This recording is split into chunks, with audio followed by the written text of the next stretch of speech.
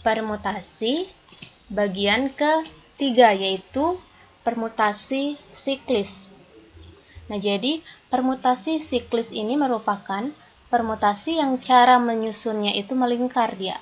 Nah, nanti di, uh, kalian akan menemukan soal-soal misalkan uh, mereka duduk melingkar seperti itu. Nah, jadi di sana akan menggunakan permutasi siklis. Nah, jadi permutasi siklis itu merupakan permutasi yang cara menyusunnya itu melingkar sehingga banyaknya menyusun n unsur itu ber, yang berlainan dalam lingkaran itu kita dapat menulisnya dengan ini.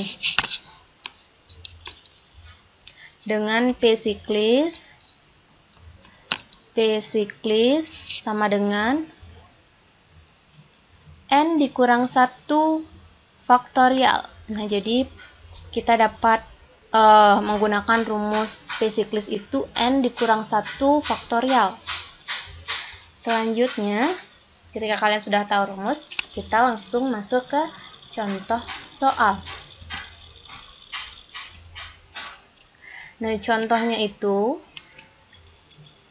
berapa banyak cara lima orang dalam suatu pesta makan dapat diatur tempat duduknya mengelilingi sebuah meja bundar. Nah, jadi berapa banyak cara ketika ada lima orang dalam suatu pesta pesta makan itu kita atur tempat duduknya mengelilingi sebuah meja bundar.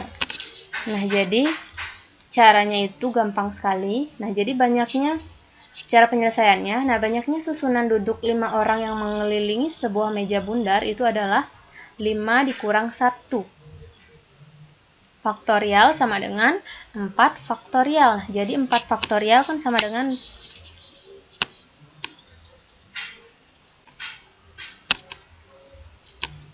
empat faktorial.